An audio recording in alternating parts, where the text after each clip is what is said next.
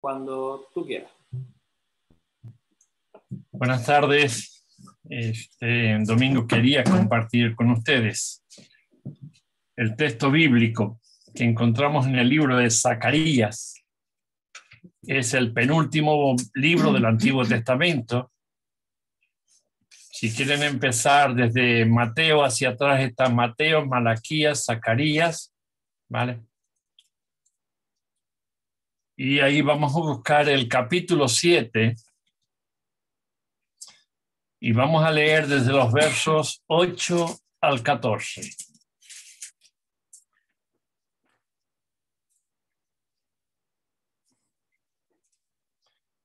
Y dice así la palabra del Señor. Y vino palabra de Jehová a Zacarías diciendo, así habló Jehová de los ejércitos diciendo, juzgad conforme a la verdad y hacer misericordia y piedad, y piedad cada cual con su hermano.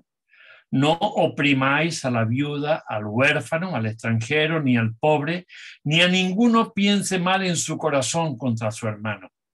Pero no quisieron escuchar, antes volvieron la espalda y taparon sus oídos para no oír y pusieron su corazón como diamante para no oír la ley ni las palabras que Jehová de los ejércitos enviaba por su espíritu por medio de los profetas primero. Vino, por tanto, gran enojo de parte de Jehová de los ejércitos. Y aconteció que así como él clamó y no escucharon, también ellos clamaron y yo no escuché, dice Jehová de los ejércitos sino que los esparcí con torbellino por todas las naciones que ellos no conocían, y la tierra fue desolada tras ellos, sin quedar quien fuese ni viniese, pues convirtieron en desierto la tierra deseable. Voy a tocar todo el tema y el título para la exposición de hoy se llama Escuchar, saber y aplicar. Es necesario saber, si no, no podemos aplicar los principios. Y en esta semana, como la semana anterior, eh, hemos estado tocando el curso que estamos haciendo, el devocional de 40 días. Y miren, tal como corren los tiempos, no está por demás advertir, avisar, redarguir, enseñar, como dice las escrituras, recordar. El pueblo de Israel fue esparcido y están volviendo de todas las nacionalidades del mundo, están volviendo otra vez a la tierra de Israel. Ya lo que es Jerusalén, ya no cabe un alma allí, ya tienen que irse hacia los exteriores de las murallas y están construyendo y desplazando a los, a los palestinos que no es tierra de ellos porque los palestinos son apátricos, ¿vale? No tienen patria, porque aquello es tierra de Israel. Y están volviendo. Y esto nos debe dar a nosotros que pensar que si los israelitas están volviendo a su tierra, es que estamos tocando los tiempos finales. Dios los disolvió como nación en varias ocasiones y ahora lo has vuelto a juntar. Teniendo esto en mente, vemos aquí a Zacarías, cómo él se deja usar por el Señor. Y hace, no sé si unos meses atrás o el año pasado, ya no recuerdo, yo no, ya no tengo las fechas muy, muy fuertes en mi cabeza, pero Zacarías significa uno a quien el Señor recuerda. Y su abuelo, que era también sacerdote, se llamaba Ido, que significa el Señor cumplirá. Ido, I-D-D-O, el Señor cumplirá. Y en Zacarías es uno a quien el Señor recuerda. Y el Señor está recordándole, y está recordando a Zacarías y está recordando a su pueblo, de en qué forma Dios quiere que su pueblo se conduzca. Y también nos está diciendo a nosotros en qué forma quiere que la iglesia se conduzca. Qué pena que no están, no hay más grupos, ¿no? Pero esta semana estamos estudiando o hemos estudiado una parte complicada que es escuchar la voz de Dios. Porque siempre eh, hemos tenido esa preocupación, vivir en el Espíritu, escuchar la voz de Dios. ¿Qué es vivir en el Espíritu? ¿Cómo escucho la voz de Dios? Solo me da tiempo para dar pinceladas, ¿no? Porque eh, se nos haría demasiado largo. Pero miren, hay cuatro maneras de escuchar la voz de Dios. Cuatro. Cuatro. Y hay veces que de una forma u otra, pero hay una que es impepinable. Hay una que no, no, no varía. Hay una que siempre está y que es la que nosotros como creyentes no prestamos atención. Pero yo voy a ir a la primera, voy a ir desglosándoles poco a poco a la primera. Y, y me estoy centrando en el versículo 13 de este capítulo 7, es el que más me entristece al leerlo, porque la iglesia de hoy no es escuchada, la iglesia de hoy no avanza, la iglesia de hoy no prospera y nosotros como creyentes muchas veces eh, no vemos, nos desesperamos, pero vamos a ver después, porque Dios siempre está dispuesto a hablar. Lo que hace falta es que haya en nosotros disposición de escuchar, disposición de rendir, disposición de morir yo para que Él pueda ser grande en mí. Así que la primera forma en que Dios tiene de hablar es que el Espíritu Santo dice a mi espíritu que las cosas que son de Dios. Él nos habla directamente, nos instruye y notamos enseguida las cosas que son de Dios, es santo, es puro, es honesto, es verdad. Además, las cosas que son de Dios están en la Biblia, cosa la cual tenemos que leer. Si no la leemos, pues realmente nunca vamos a poder saber y menos poder aplicar. Esos son principios lógicos. Si yo aprendo una profesión por rutina, bien, pero cuando la rutina eh, se me complica y no pienso por mí mismo, pues entonces no soy capaz de pensar, entonces no voy a sacar bien el trabajo adelante. Yo tenía una en mente una, una frase que yo antes la usaba más que ahora, y es, estás pensando con las manos, pero no con la cabeza. Es que nosotros hacemos, hacemos, hacemos, pero no utilizamos la cabeza, ya hacemos de rutina. Por eso es pensar con las manos y no pensar con la cabeza. Estamos viviendo de rutina, de lo que va saliendo, pero no utilizamos la cabeza como nos va a ser necesario cuando entremos en uno de los apartados que vamos a tocar en esta tarde.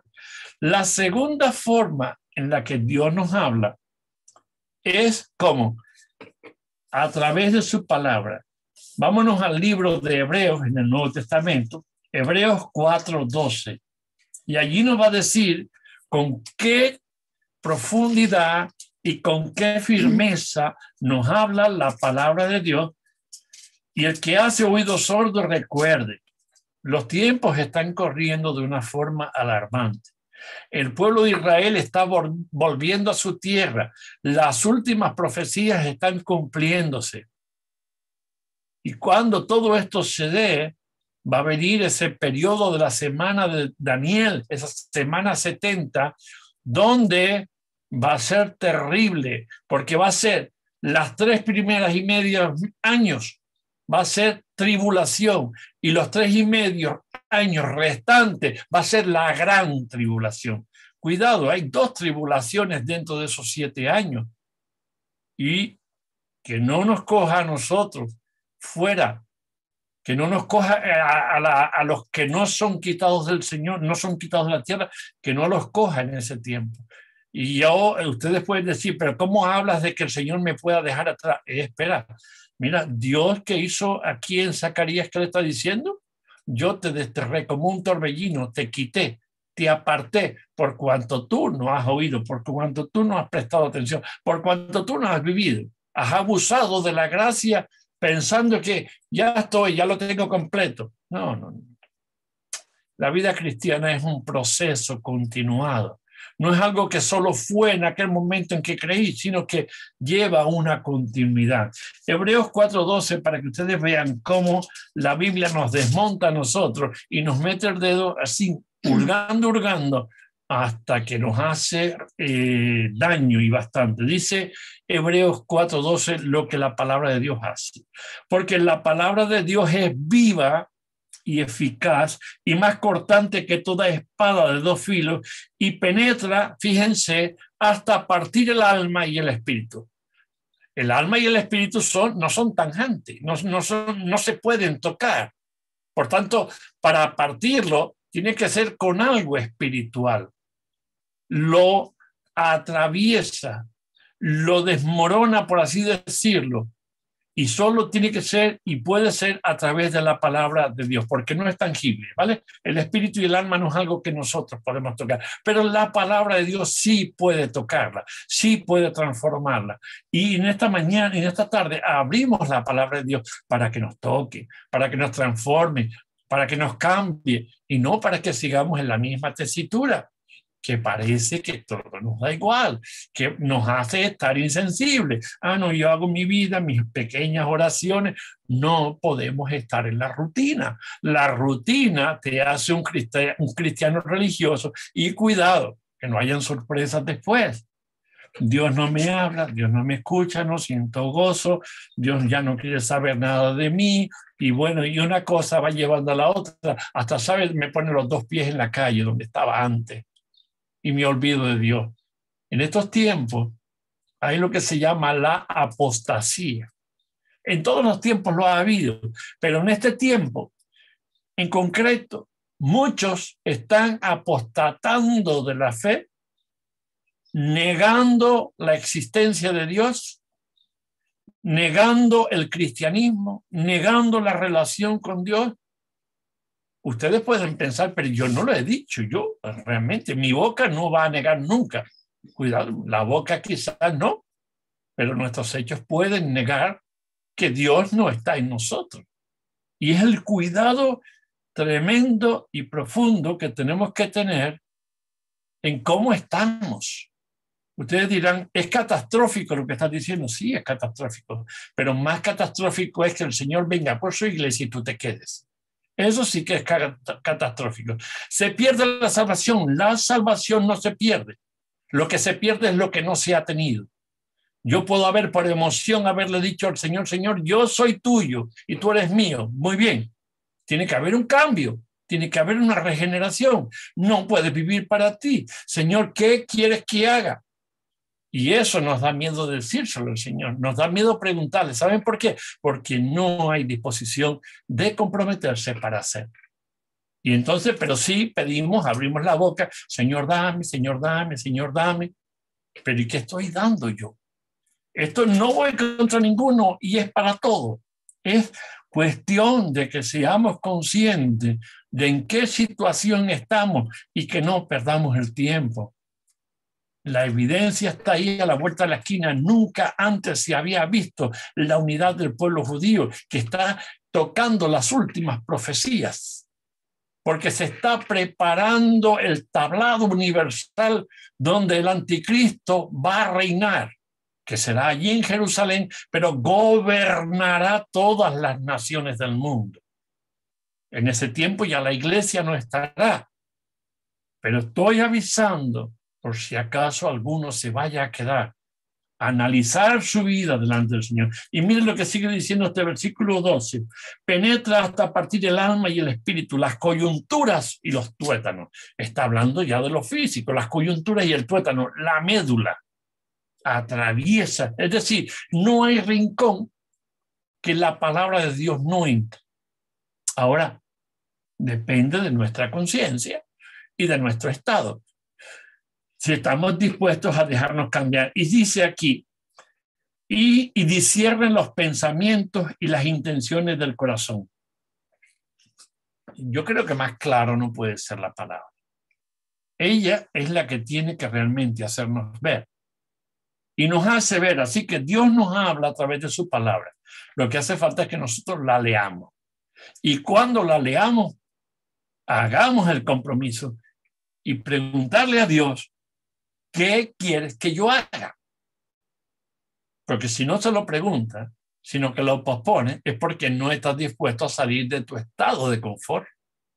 Te quieres quedar como está y sigues escuchando el sermón, pero realmente el sermón no te hace nada si realmente tú no estás dispuesto a ponerlo en marcha. Y es la aplicación que tenemos que buscar. La tercera forma que encontramos aquí es, por, eh, nos puede hablar a través de personas, a través de una conversación con alguien, a través de una revelación que Dios le haya dado a alguien o la experiencia que esa persona ha vivido. Y la cuarta forma es por circunstancias. Podríamos decir el profeta en esta última, por circunstancias, el profeta eh, ya había dicho que el Mesías nacería en Belén de Judea. No fue una casualidad. Justamente Jesús vino a nacer en Belén de Judea porque el gobernador de turno romano mandó que todos fuesen empadronados. Por eso tuvo que José, que fue avisado por el ángel, bajar a Belén y allí María ya pues dio a luz, pero había una causa, había una circunstancia. Dios nos habla también a través de las circunstancias de la vida. Cuando yo me empeño, mira Señor, esto me gusta y esto yo voy a hacerlo y esto yo voy a hacerlo. O Señor, quiero ir a estudiar aquí o utilizar esta universidad porque es la que realmente me va a dar a mí un futuro exquisito, excelente. Pero resulta que cuando llego a la universidad, ya yo he presentado todo, ya yo había hablado con el Señor, presento y en la universidad me rechazan la matrícula. Uy, me ofusco todo, Señor, pero ¿qué te dije? Esa era la mejor universidad. Y eso, no, tú querías ir a esa universidad. Tú trabajaste con las circunstancias, pero no era el lugar que yo quería para ti. Tú tomaste la decisión que quisiste tomar. Debiéramos dar gracias aún por las cosas que hacemos y nos equivocamos. Señor, gracias, me equivoqué. Sé que tengo que corregir este asunto. Dios habla a través de las circunstancias, a través de las pérdidas, a través de la escasez, a través de, de la provisión de otras personas. Son circunstancias que se dan en nuestra vida. Dios habla a través de ellos. Pudiésemos desarrollar mucho más esto todavía, pero no hay ese tiempo. Y les recomiendo que se compren el libro eh, para que no se queden en el error, no se queden con dudas. Este libro les va a ayudar muchísimo, lo mismo que está ayudándonos a los que estamos eh, leyendo. Yo he leído mucho, mucho, mucho en mis años, pero este hombre escribe de una forma sencilla y que te hace ver lo que es vivir una vida en el espíritu y si realmente tú estás viviendo una vida en el espíritu y si estás viviendo para aplicar. Eh, encontramos aquí también cinco pasos para escuchar la voz de Dios. La voz de Dios es, lo primero que tenemos que hacer para poder escuchar es rendirnos a Él hasta que de verdad tú quieras escucharlo. Señor, yo me rindo a ti. Y Dios te va a hablar, va a tratar contigo. La cuestión radica en que tú quieras escuchar. Si tú no quieres escucharlo, estás perdiendo el tiempo. No lo pierdas. Corre, desenfrena, porque al final vas a perderlo todo. Corre. Pero si estás dispuesto para escuchar la voz de Dios, cuando te rindes le dice, Señor, ¿qué quieres que yo haga?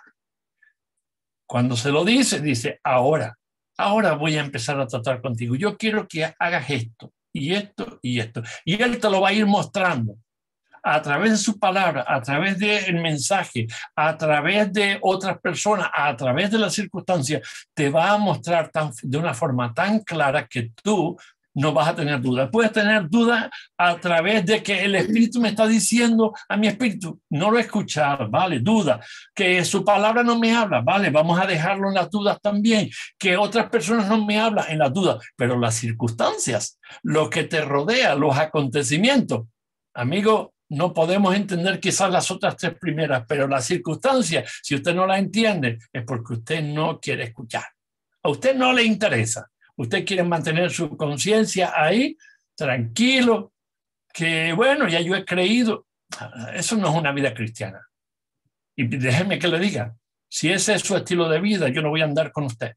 Yo soy honesto. Yo, no escondo las cosas. Yo no pierdo tiempo con quien no quiere. Yo ah, ando ligero. ¿Por qué? Porque no, yo no estoy para perder tiempo, ni Dios me llama para perder tiempo, ni a mí ni a ustedes. El que no quiere, no quiere. Y si quiere estar ahí, que esté. Pero yo no pierdo tiempo. Ustedes dirán, vaya dureza, vaya, vaya inconsecuencia, vaya falta de amor. No es falta de amor. Es que mientras nosotros estamos dubitativos, que si sí, que si no, hay muchos que se están perdiendo. Y prefiero más acudir a aquellos que se están perdiendo para ayudarlos a, que alcancen la gracia de Dios, a tener que estar bregando con personas que no quieren. No quieren, bien, para ti. El consejo está ahí Ahora cada uno hace lo que quiere.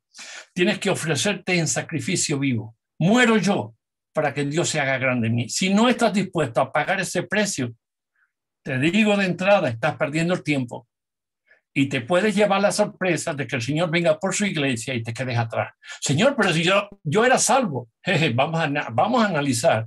Tú eras salvo. El salvo tiene transformación, el salvo, el salvo tiene cambio, el salvo se eh, llena de, Dios. El salvo quiere, ah, eh, eh, quiere la administración del Espíritu para poder vivir conforme al corazón de Dios. Si eso no está, tú no estás en el Señor, tú te estás equivocando. Pregúntate, ¿y qué pregunta tienes que tienes que hacerle? ¿Qué quieres que haga, Señor? Pregunta con idea de obedecer. Si no tienes disposición de obedecer, no pregunte. No le preguntes a Dios, porque hay un silencio. Muchas veces Dios no nos responde. ¿Saben por qué? Porque aún en circunstancias Dios nos ha respondido y hemos entendido, pero no hacemos caso. Y seguimos pidiéndole a Dios y Dios guarda silencio. Como hizo aquí, Zacarías 7:13, Dios guardó silencio. No los escucha. Tú quieres que te escuche muy bien.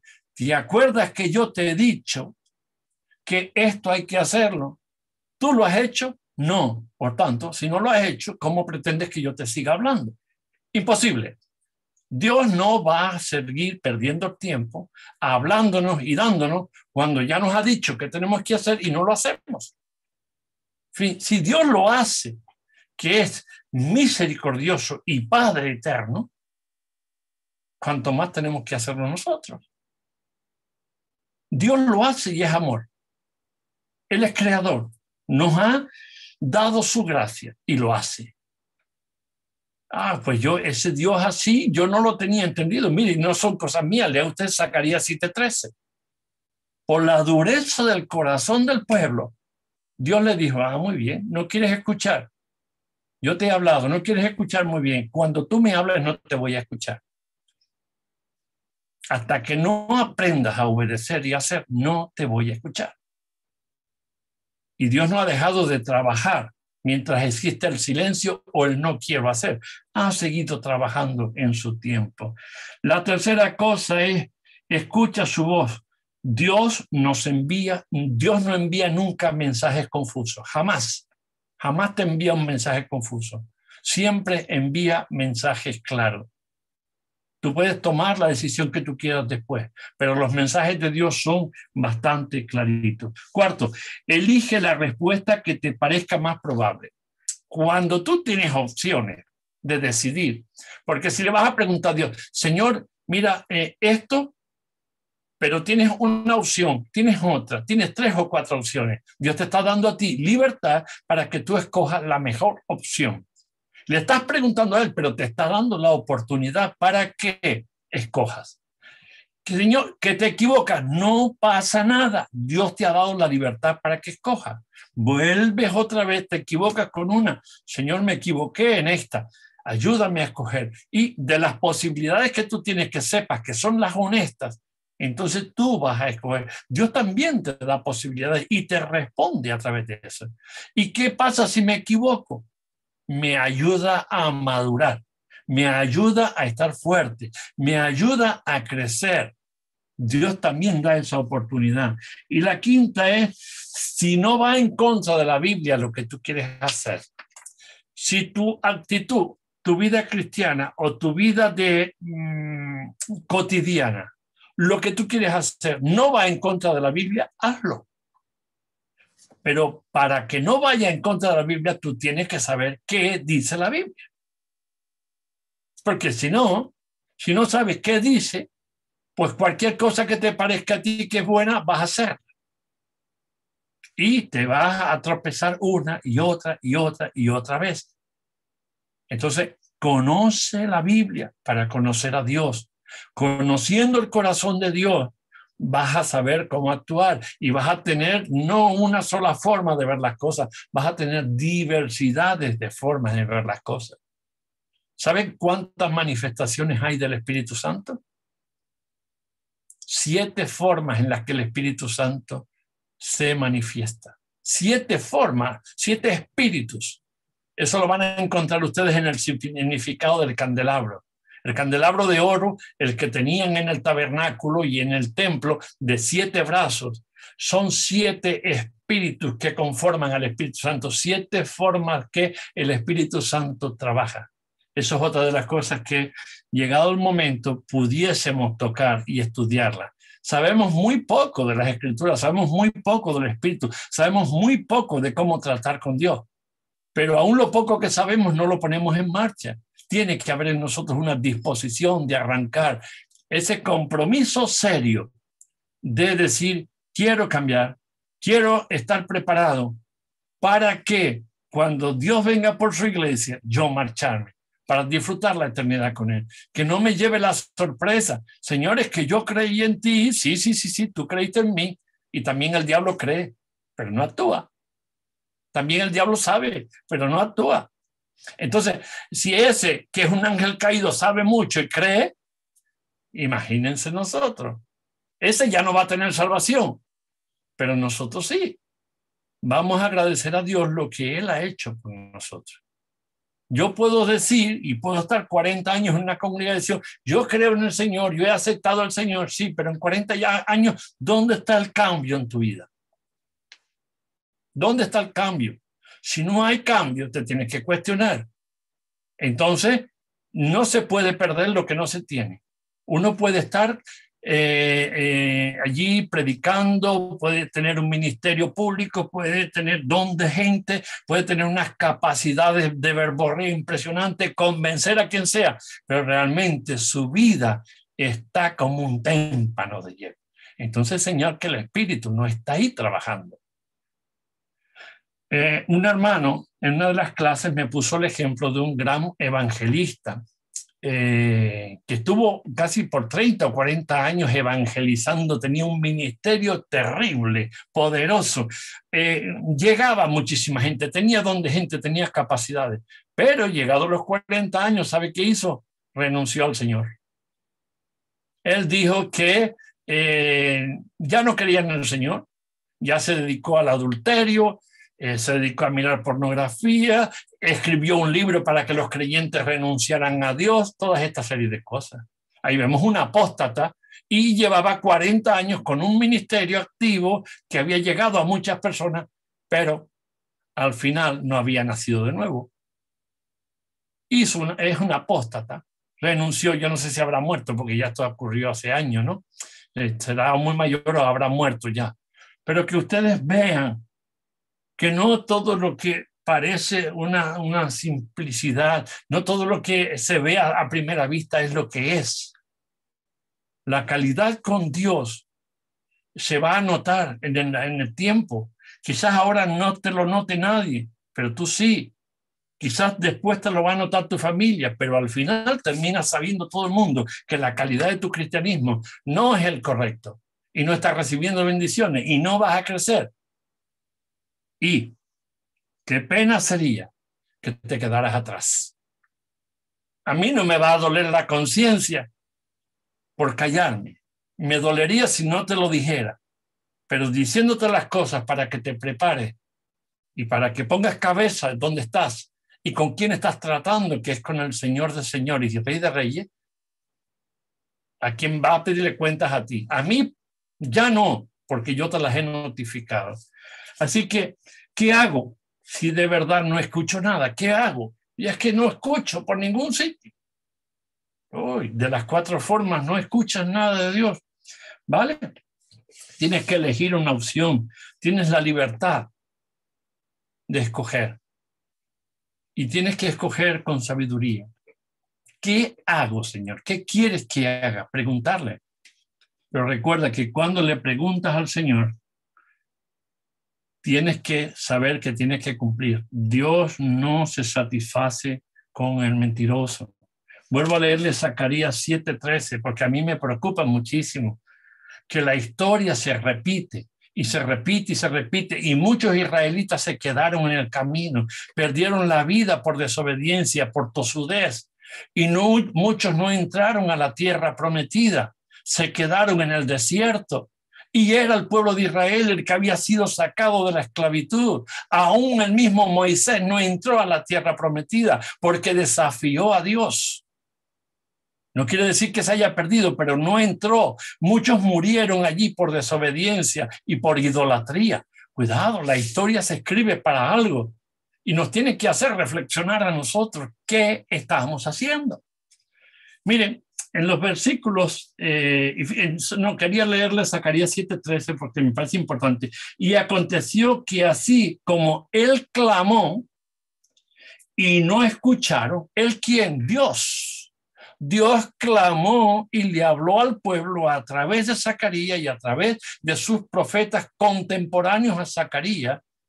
Dios le habló clamó, parece como si le estuviese suplicando, presten atención que lo que les estoy diciendo es para salvación de ustedes. Ah, no, guardaron silencio. Dice, y no escucharon. Los profetas estaban haciendo lo mismo que yo estoy haciendo hoy y lo mismo que hacemos cada domingo cuando se abre la palabra de Dios. Enseñar, avispar, yo no estoy aquí para entretenerlo, no les voy a reír la gracia, yo no les voy a halagar el oído. No cuenten conmigo para eso, nunca. No lo voy a hacer. Si tengo que decirte blanco, te voy a decir blanco, y tengo que decirte negro, te voy a decir negro. Es decir, no voy a esconder eh, eh, el mensaje, no lo voy a esconder. Y puede ser que yo, ustedes digan, vaya tío repelente, lo odio, qué asco de tío piensen como quieran, a mí me da exactamente igual, pero no puedo esconder ese fuego que me arde y en verlos y en ver cómo la iglesia de Dios no avanza, sino que se queda estancada. Y la sorpresa que viene después. Y cuando escucho el clamor es que Dios no me está escuchando, Dios no me da respuesta. Y a mí me, me para a pensar, me pone a pensar, ¿por qué no está respondiendo Dios a esto, al otro, al otro, al otro?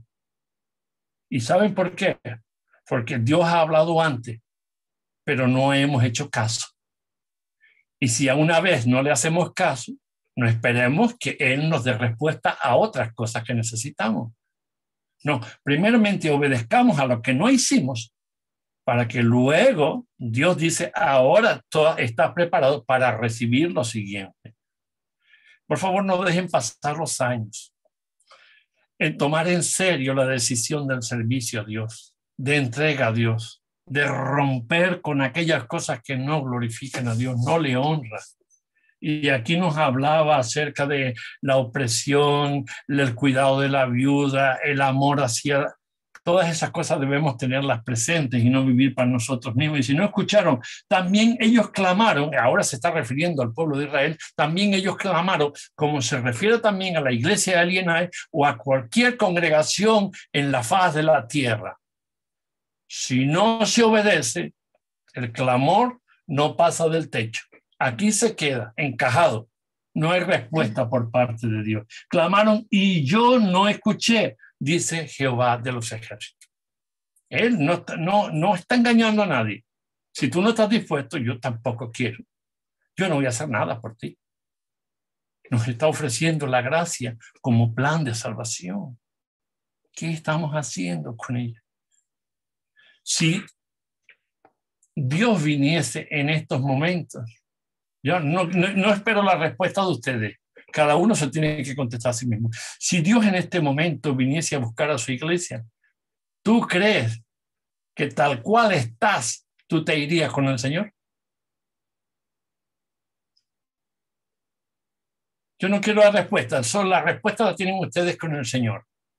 ¿Tú crees que tal cual están o estás, si el Señor viniera en este momento, tú te irías con Él o te quedarías por aquí?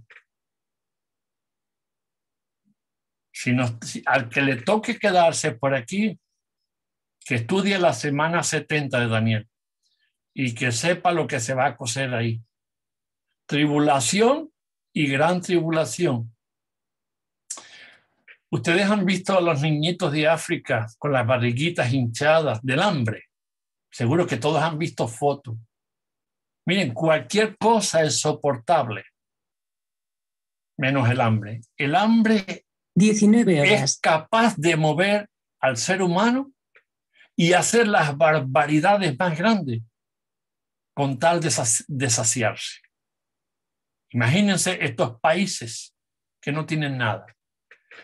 Hay en la actualidad siete mil y pico de millones de seres humanos en la Tierra. El alimento escasea para muchas zonas de la Tierra. En estos momentos, según unos estudios que hay, hay, hay alimentos para mil doscientos y pico millones de habitantes en la tierra, pudiendo tener una buena cena, un buen almuerzo, un buen desayuno, comer y estar bien saciado. Para un millón doscientas mil. Pero ahora hay siete millones. Hay muchísima cantidad, siete mil millones de seres humanos en la tierra. No hay alimentos para todos. Miren los países que están pasando hambre. No hay alimentos para todos. Para nada hay que ir sacando gente para que el alimento llegue.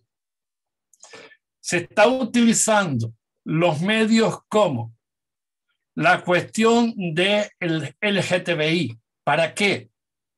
Hombre, hombre, mujer, mujer. Mujer, mujer, hombre, hombre. Ya no hay reproducción, ya se van eliminando nacimientos.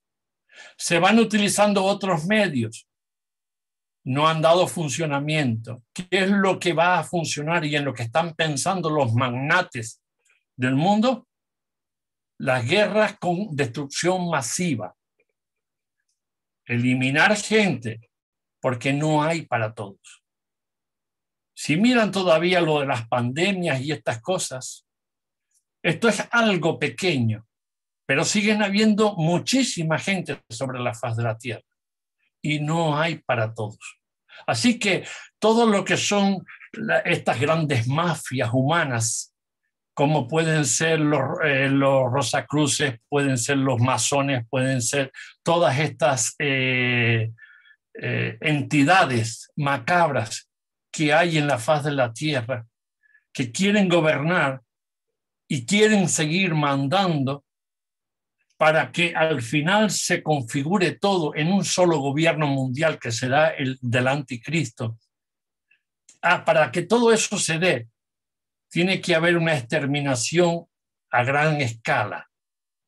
Todo esto se está dando, todo esto se está confabulando y la iglesia estamos en medio de esos millones que estamos en la tierra. Que muchos millones partirán con el Señor algunos ya duermen, algunos han muerto, pero otros serán quitados de la tierra vivos y serán transformados. Asegúrate de que tú vas a ser uno de los que realmente se van con el Señor. No lo pospongas, no sigas diciendo ya tendré tiempo. No, no hay tiempo. No hay tiempo. Quien marca el tiempo son las profecías. Y quien marca el tiempo dentro de las profecías es el pueblo de Israel. Léanlo. Y el pueblo de Israel ya está volviendo a, sus, a su sitio, al sitio que Dios le había prometido. De todas partes del mundo están emigrando. Y vienen en bandadas. Son millones por todo el mundo. Cuando ya estén por allí, empezarán a confabularse para muchas cosas. Tienen que construir el tercer templo allí donde está la mezquita de Omar, la cúpula dorada, aquello tiene que volar. ¿Por qué? Porque los árabes plantaron la cúpula dorada encima de los cimientos donde estaba el templo. Aquello tiene que desaparecer. ¿Ustedes se imaginan una guerra sirio-árabe-israelí? Eh, eh, Israel es muy pequeña y está rodeada por, por todos los países árabes, pero no han podido con Israel. Y son árabes ahí en el mundo muchísimos. Naciones que rodean a Israel, muchísimas. Y todas son árabes. Han intentado desbancarla y no han podido. ¿Por qué? Dios está detrás, Dios está teniendo el control. Dios escogió esta nación para bendecir al mundo. Y Dios no va a echar a perder su plan. Si nosotros no queremos hacernos partícipes del plan de Dios, es otra cosa. El desarrollo de todo este texto eh, tiene que hacernos pensar. Yo estoy acortando muchísimo de lo que tengo que decir porque no, no hay tiempo para todo esto, pero creo que hemos tenido bastante y solo voy a hacer una recapitulación de un par de minutos y quiero que ustedes pues se vean a sí mismos. Si me quieren ver como un ogro, eh, eh, les digo, no es algo que me preocupe. Eh, yo soy como soy y así en el Señor y no escondo las cosas a nadie porque no quiero que Dios me ponga las orejas más grandes que las que las tengo ya, tirándome de ellas.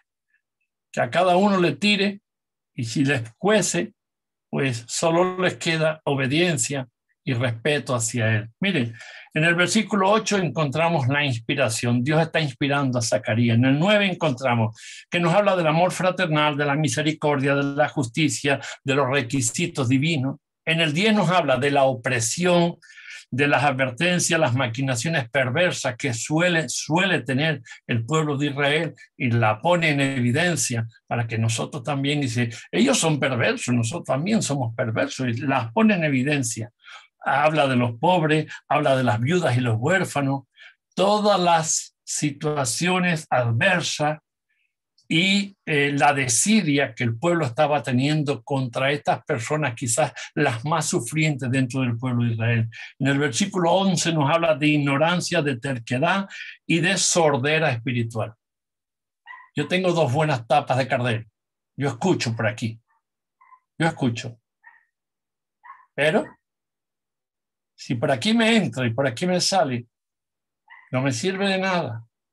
Si no quebranta, si no atraviesa mi alma y mi espíritu, no me sirve de nada lo que estoy escuchando. Por eso habla de esa eh, sordera espiritual y en Mateo 13, 15 también nos habla y nos dice, en el versículo 12 el rechazo de la palabra. Cuando no prestamos atención, estamos rechazando su palabra. El pueblo la rechazó. La dureza, la palabra inspirada. Si Dios te está hablando a través de su palabra, es porque ha sido inspirada, escrito por los hombres, pero inspirada por el Espíritu Santo, en un lenguaje que nosotros como seres humanos podemos comprender. La ignorancia, el corazón perverso, eh, duros como el pedernal, porque nos ponemos allí duros como un diamante o como un rubí, duros como el pedernal, algo que ni siente ni que padece. Ahí está. Como si no fuera con nosotros la situación. Lo mismo le pasaba al pueblo de Israel, como si no fuera con ellos. Retribución y la ira de Dios. En el versículo 13 es un llamado divino y también hace mención a la oración. ¿Por qué Dios no contesta las oraciones? Aquí está la causa. Si leen todo el capítulo, van a encontrar la causa por qué Dios no contesta las oraciones. ¿Por qué hay un silencio cuando el hombre o la mujer clama? Para clamar hay que tener conocimiento. Y si Dios no da respuesta es porque ya antes habló, pero no se le prestó atención. Y en el versículo 14 encontramos desolación, dispersión y torbellino cuando los dispersó, muchos murieron con el deseo de volver. Se fueron con ese deseo en el corazón. Ya no volvieron a la tierra. Que no nos pase esto a nosotras. Nuestra meta es alcanzar la eternidad al lado de Dios. No quedarnos aquí cuando la iglesia ha sido quitada. Es terrible lo que va a suceder. Estemos atentos a ellos. Miremos los acontecimientos de Israel, porque ellos son los que marcan el periodo del fin. Lo que le suceda al pueblo de Israel tiene que ser para nosotros un aviso de que el final está a la vuelta de la esquina. Que Dios les bendiga. Gracias. Perdonen por las expresiones bruscas, eh, secas, pero es que me consume, me consume cuando leo la, la Biblia, me consume y cuando contemplo a la iglesia nuestra y a la iglesia a nivel mundial, cuando la contemplo y veo la pasividad, la apatía, el desinterés, la desidia, la dejadez, eh, me hierve la sangre. A mí me hierve porque a mí la palabra me quema. Y son muchos años de servicio al Señor y viendo y viendo y viendo. Y es una tristeza, ¿no? Uno se, me voy consumiendo. Y quisiera ver más, pero el Señor me permite ver hasta donde tengo que ver. No más allá, porque entonces no sé si podría resistirlo. Bueno, gracias por este tiempo y devuelvo la conexión a Irán.